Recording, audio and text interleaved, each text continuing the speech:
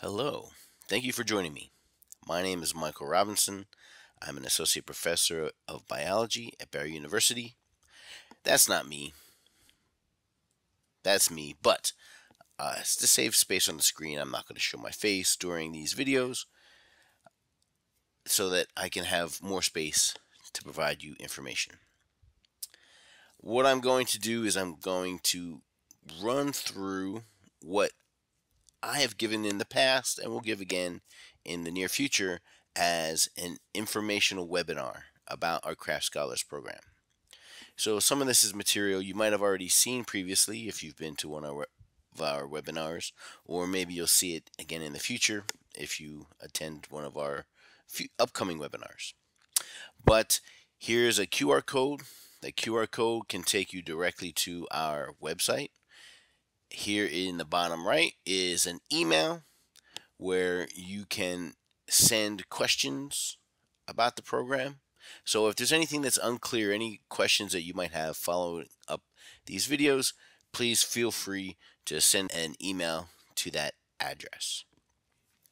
So what I've done is I'm going to break the content up into separate videos where each video will have one relevant chunk of information.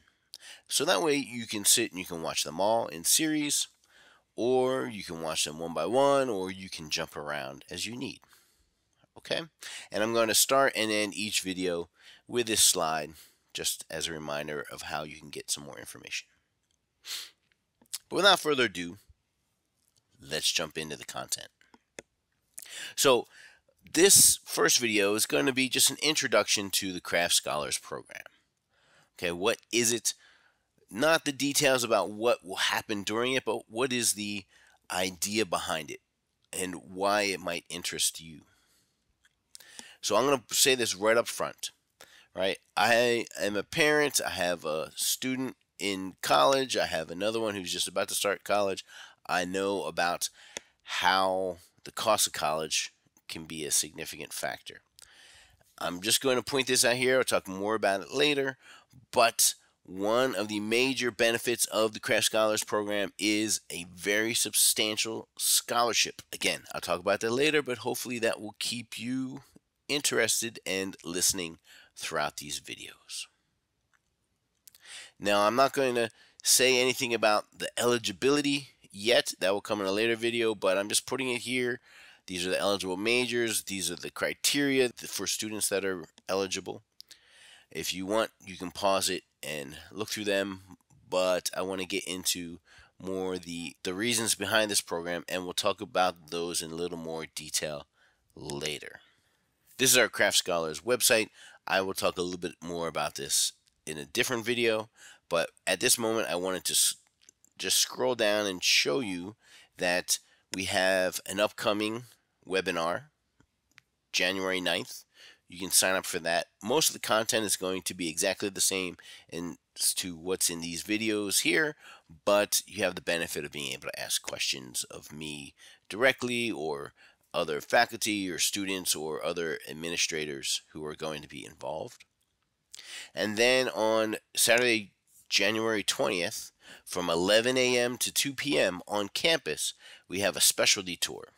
So you can come to campus, tour the campus, see the facilities on campus, and then the Craft Scholars Program will have a specialty tour where you'll meet with faculty and we will um, take you around, show you some of the options or some of the, the benefits of the program. And uh, so, regardless of what your major might be, if you're interested in the Craft Scholars Program, there will be faculty involved with the Craft Scholars Program there to to speak with. So briefly, what the Craft Scholars Program is, it's a collaboration between Barry University with the University of Florida and the USDA, specifically their National Institute of Food and Agriculture. What we are interested in is helping students develop these tools and the skills and the interest to tackle problems that are covered by the interests of NIFA, the National Institute of Food and Agriculture. Now, who is NIFA? There's you can go online and check out NIFA.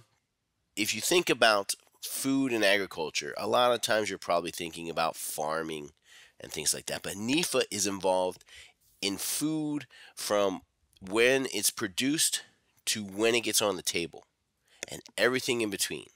So if there's something related to food, NIFA is involved. And this is just a few of the icons I, I took from their website that shows a variety of the things that they're interested in. So don't think that this program is only for students who are interested in agriculture or farming.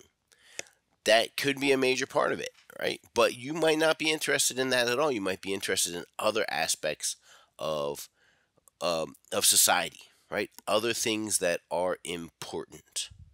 Let me just tell you a few. So, yes, NIFA is interested in farming and ranching, okay? But that includes other things like aquaculture, right? Maybe you're interested in marine biology. You could be interested in aquaculture. That's a very important way to feed people. Maybe you're interested in animal care.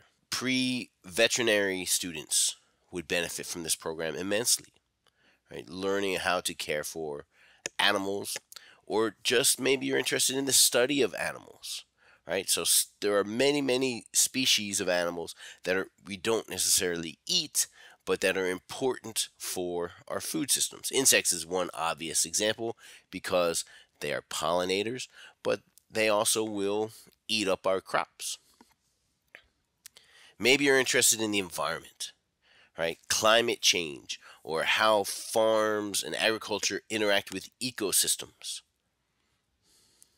Maybe you're interested in the environment and restoration ecology, something like that. So, caring for these are researchers who are putting clams back out into the Indian River Lagoon to try to restore the clam uh, populations there. But NIFA is involved in all kinds of things from forestry to soil, water, the USDA also administers SNAP. And if you're unfamiliar with SNAP, SNAP is the single most important way that we get food to people who are facing food insecurity. And during COVID, almost 25% of the United States received some SNAP benefits. So this was crucial to making sure people got the food they needed. So you might be interested more in the sociological side of things. And that's where this would play out, right? Here's a map from a, a study done looking at food deserts. These are areas where there is food insecurity. It's difficult for people to access regular healthy diets. That's a lot of the United States covered by food deserts. Maybe you want to solve these problems in a variety of ways. One way could be bringing food literally to people who need it.